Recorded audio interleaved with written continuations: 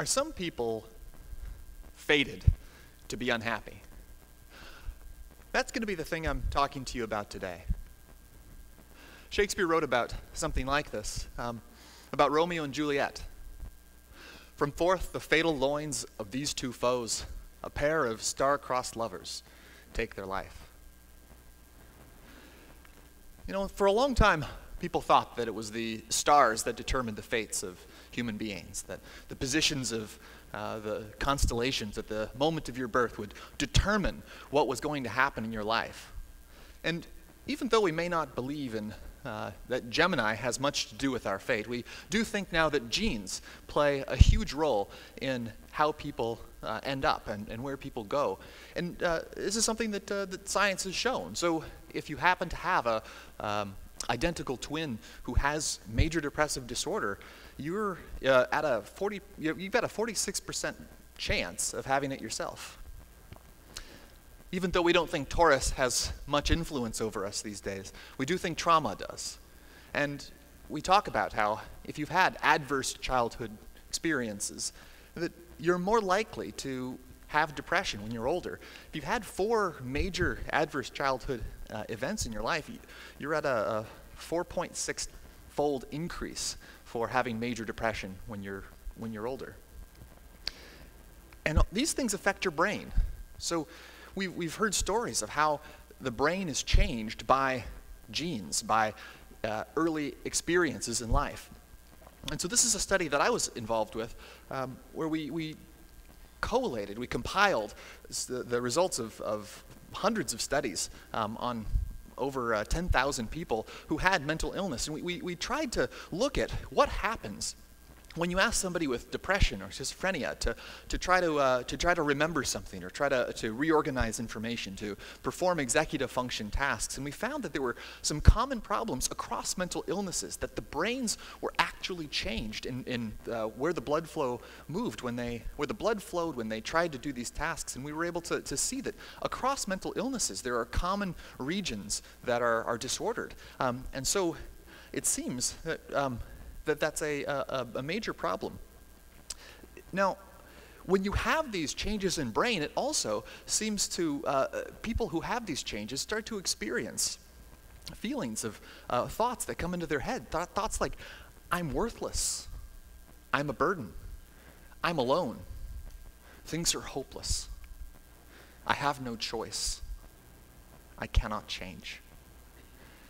And the tragedy is these things feel just determined that it's a chain of causality from genes and difficult experiences in life leading to brain changes, leading to negative thoughts, leading to things like depression or anxiety.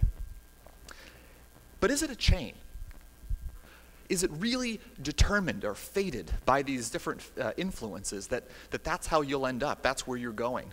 And I think that there's, there's been some exciting new research in this area around what's actually happening uh, in, in the brain. So, just as by way of review, we're going to go back and, and talk about something called neuroplasticity. Now, this is a, a uh, something that was mind blowing before, but is important to review. So, okay, so a long time ago, for, for, uh, for almost a century, neuroscience was of the opinion that the brain, once it got to a certain level, once you got to a certain age, was more or less stable.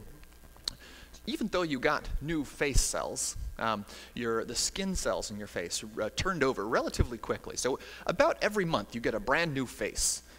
About every seven years you get a brand new skeleton. But neurons, they didn't change.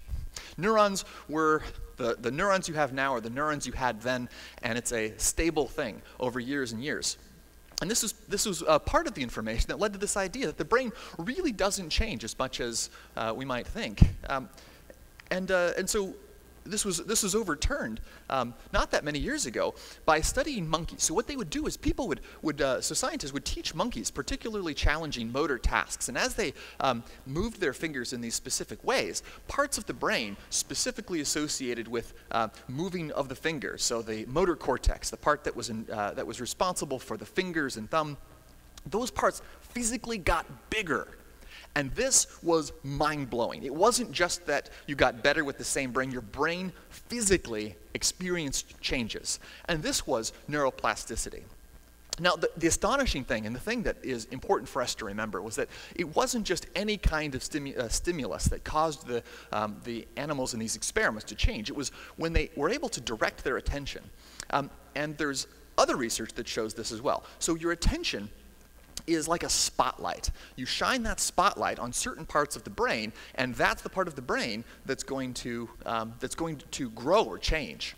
So, um, if you uh, everybody who's here and if you're watching online, I want you to raise your hand. So just put your hand up and go like this.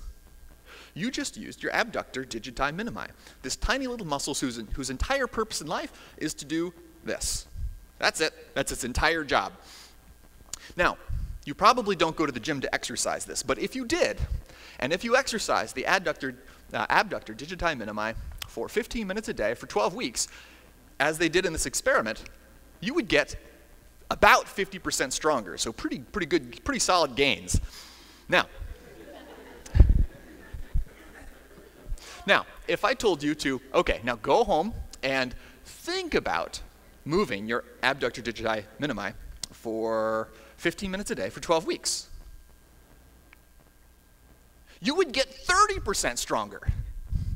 You get physically increased strength by thinking about moving a muscle. That's astonishing. That's astonishing, okay? so, so when you think about like, okay, what's, what, what, is, what does this mean? This is like mind-blowing. Okay, and this is physical strength. But, but what, if it, what if this applied to more than just physical strength? What if when you shined that light on other parts, you could change it? It's almost like you are able to sculpt your brain as a uh, sculptor or as, a, um, as an artist is able to create sculptures. A, a, sculptor is able to change the clay to create something beautiful. You're able to do that with your own brain.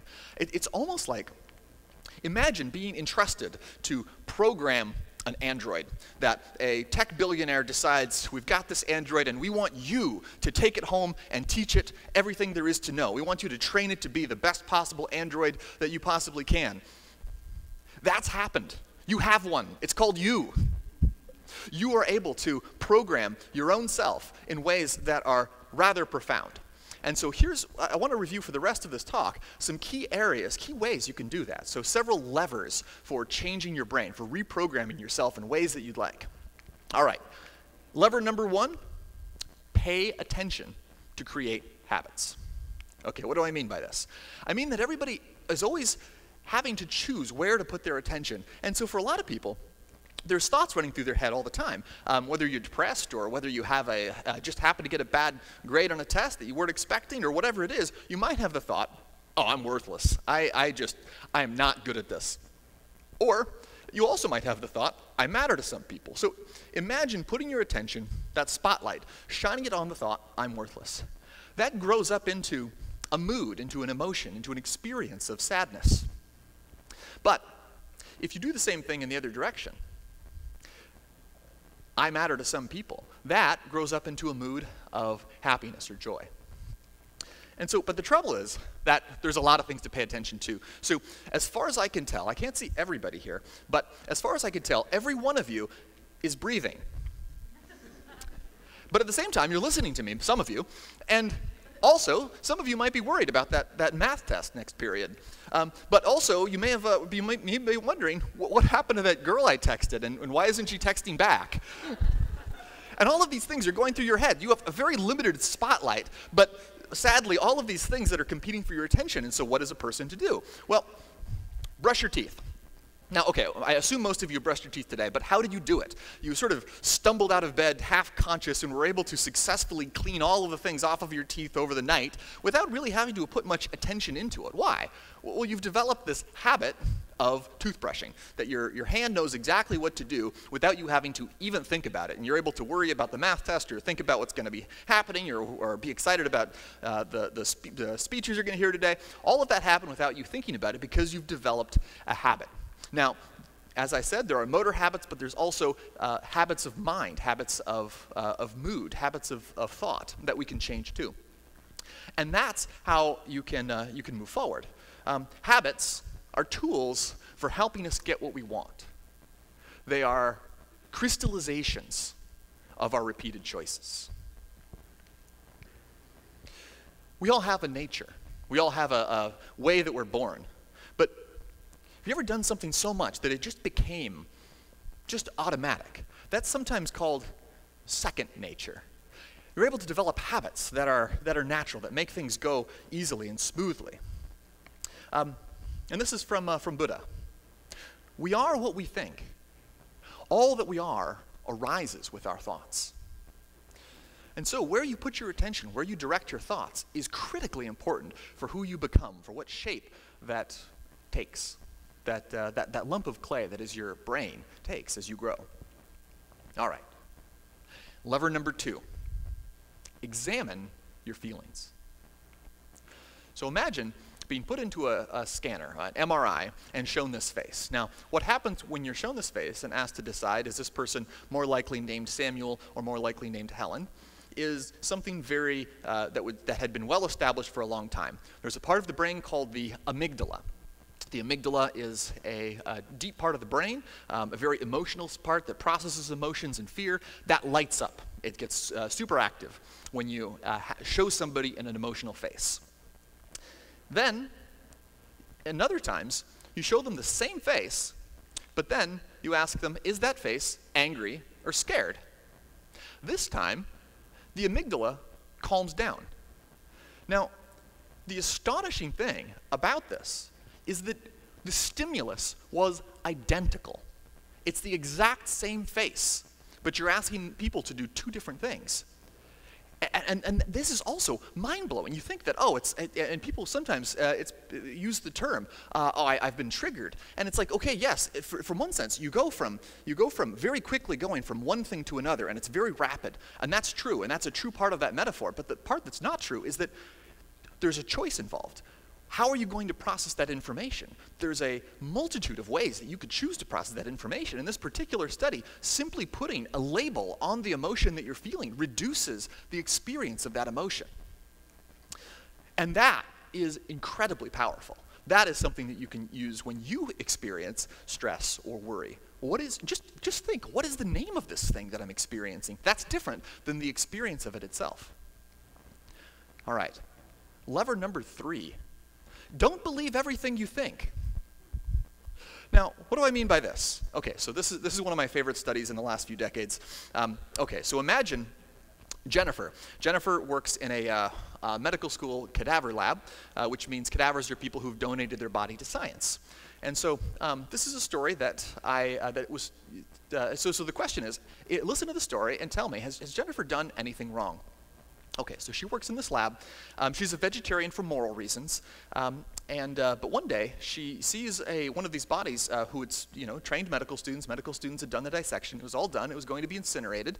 Um, she decides she's going to uh, cut a piece off of the cadaver, take it home, cook it, and eat it. Has she done anything wrong? Now, a vast majority, a majority of people, when hearing this, say, "Yes." She ate a person. You can't eat people. But the person who did the research tried to challenge them and said, well, okay, why did she do anything wrong? And there was a number, a very high number of people that couldn't explain on their own moral rationale why she had done anything wrong. And he calls this moral dumbfounding. That like, what he, what he suggests is that a lot of times the emotion comes first, and then the reason is a post hoc justification to justify why I was feeling that way. And so this is something that's astonishing because when you think about this, when you think about these thoughts, sometimes the emotion is the thing that causes the thoughts. I feel sad, and so all of a sudden, why do I feel sad? Well, maybe it's maybe a justified reason for feeling sad is being actually worthless, or really a burden, or actually alone. Um, these are things that might be um, that might be that the emotion is sometimes causing the thoughts, but then, but then. The thoughts might also cause the emotion, leading to a cycle of misery and despair that is hard to break out of. And this is sometimes called depression. And so here we return to this picture of genes and uh, nature and nurture and difficult experiences leading to changes in the brain, leading to negative, uh, negative thoughts, leading to sadness, despair, depression. But how do you break out? This is, uh, this is David Burns. He's one of the leading thinkers in psychotherapy and how to help people break out of cycles like this. And he says this You can learn to change the way you think about things you can also change your basic values and beliefs. And when you do, you'll often experience profound and lasting changes in your mood, outlook, and productivity. So there's a different pathway. So certainly these things sometimes cause changes in the brain which cause negative thoughts which lead to negative feelings. But but and here's the critical thing.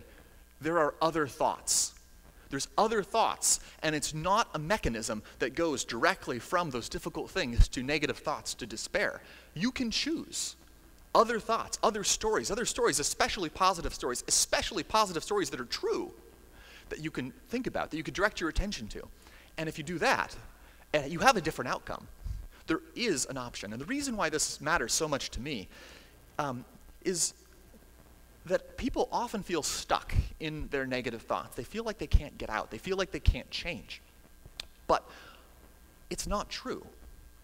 And when people are in extreme states of sadness or despair, sometimes, and this is a, uh, a picture of um, Hamlet, or a sculpture around Hamlet, another Shakespeare character who also contemplated this idea of, you know, is life really worth living?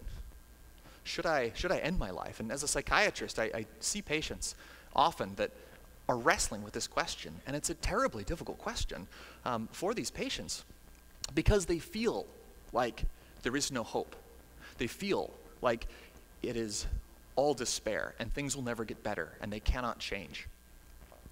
And what I want to say is that's not true. It's not true that there is no hope. It's not true that things will always be this way. That moods can dramatically change feelings can be dramatically altered, and that to a large extent, where you put your attention, where you direct your thoughts, even when it's extremely difficult in some of these states, can have profound impacts in your uh, in where you end up and where your thoughts end up and where your mood ends up. And you can break out of these cycles that may not have been your fault, that certainly your genes are not your fault and, and the difficult experiences are not your fault, but, but you have the option. You can break out of some of these cycles by changing where you put your attention. And that, that is hope. And that is mind blowing. And so, the conclusion of the matter if you change your mind, you will change your mood. Thank you very much.